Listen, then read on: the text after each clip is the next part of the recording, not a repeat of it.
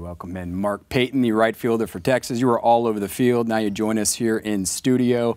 When you look at those plays, what stands out? Do you, do you like throwing someone out or going yard? Uh, you know, whatever hustle plays. So I like rather throw somebody out, and uh, you know that's the way we uh, kind of won that game. There's, uh, you know, we got some good defense, and that's what wins ball games. Well, you had a great sophomore year, and, and you know college baseball. It's so important that summer. A lot of guys will go to the Cape, maybe go out to California, and, and find some place to work on their game. Where did you spend this summer? Uh, I went home and. Uh, home being Chicago. Home being Chicago, and you know took some time off, and uh, you know got after pretty hard in the weight room and the speed training. Um, you know I think it's going to pay off other than going out and playing and uh, you know beat myself up all summer. So you didn't play for a team. You're going to work on work on your own things individually. Yeah, uh, that's all I did. You know I hit with my dad, who uh, who's always been a great leader to me and it's my hero. So uh, you know, it's good being around the family, you know, especially when I can't go home that much. Yeah, and you're so far away. So you're back in Chicago. What's what's the best thing you, you ate all summer? It's a good food. Some uh, some Giordano's pizza. Oh, some deep dish. Deep dish.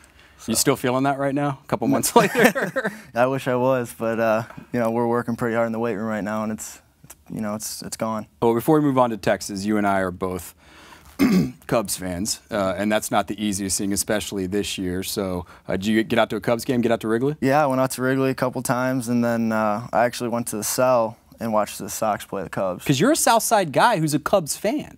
It's weird, and I have to keep my mouth shut. But uh, especially on the South Side. You know, you know, we have some fun with my friends about it, and uh, you know, it's it's always fun going to friendly confines or going to watch a game at the cell, wherever you're going to watch a baseball game, and you're gonna have fun. Well, especially you. You live baseball, and uh, new baseball coach for the Texas Longhorns, an assistant, Tommy Nicholson, who was a second baseman here. He comes over from Sacramento State to replace Tommy Harmon. He's going to be the infield coach, also teach hitting. What are your early impressions of Tommy Nicholson? You know, he's a high energy guy. Um, you know, I'm you know very fortunate to play for Coach Harmon for his last you know my last two years, and uh, he's definitely going to be missed. But um, you know, we got a new team this year, and Co Coach Nicholson's already, you know, done a good job with hitting guys, and um, you know, it's it, it's wonderful for me and the rest of the team because he's a high energy guy, and I think that's the way we need to play, uh, especially with all the speed we have this year.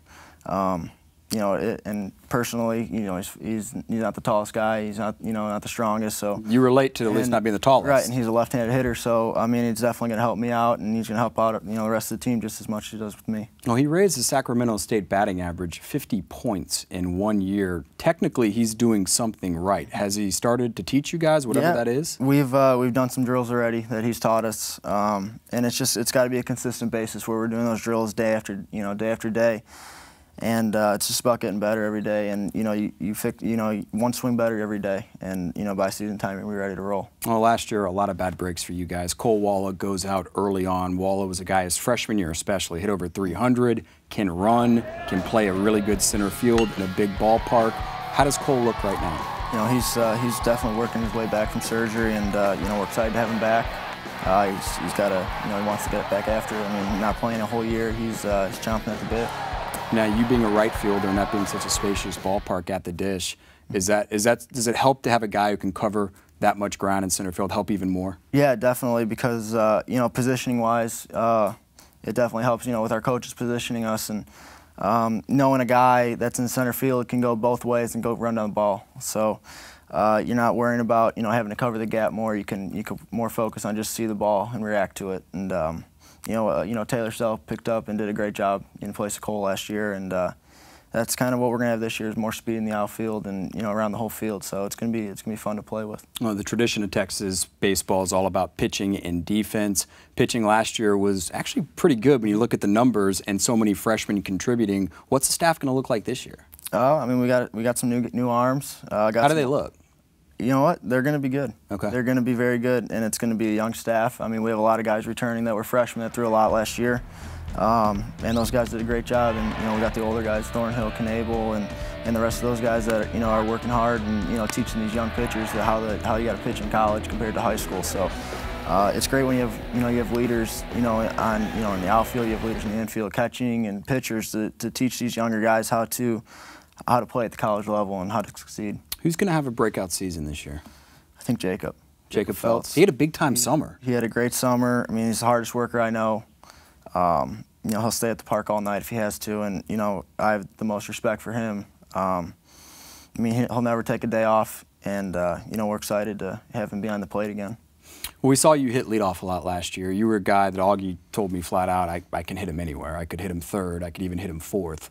Um, is there a spot that you really like? Do you like being a leadoff guy? Yeah, I do. I do like being a leadoff guy. I like knowing going up there, I'm going to get a fastball early in the count, and uh, you know having to work with that. And but you know if, if that's not where I'm going to hit, then I got to you know change my game to uh, to where I'm what you know what I got to do that day. So um, we'll see what it comes down to in the season, and you know wherever he puts me is. Uh, you know, where I'm gonna be happy. Well, we saw it. You did so many things for this team. I mean, you do a lot of different things, and you bring a lot of different, you know, uh, variables with your game. Is there one thing that you really want to improve on this year?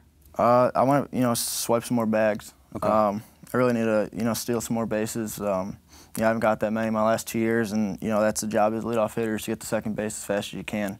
So, uh, you know, that's you know that's what I'm going to work on this off season, and uh, I'm going to take some more bags this season. All right, you've said it, and uh, the team has said it. We didn't have the type of year we want or we expect here at the University of Texas.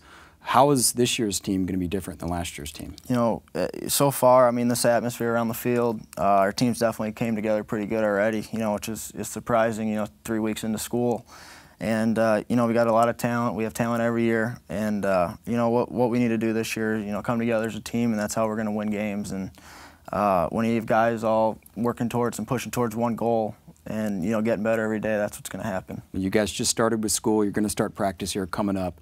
Has that started to happen? Are you guys do you see it starting to form? Yeah and more people are staying up at the field longer every day. And that's what i like seeing and that's what i like being around.